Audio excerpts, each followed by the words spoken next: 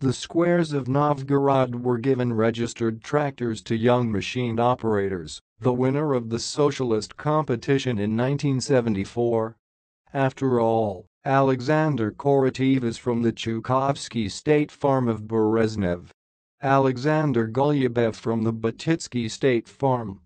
Both Alexander initiators of the competition between the winners of last year, their initiative was supported by other machine operators who achieved the best results in work.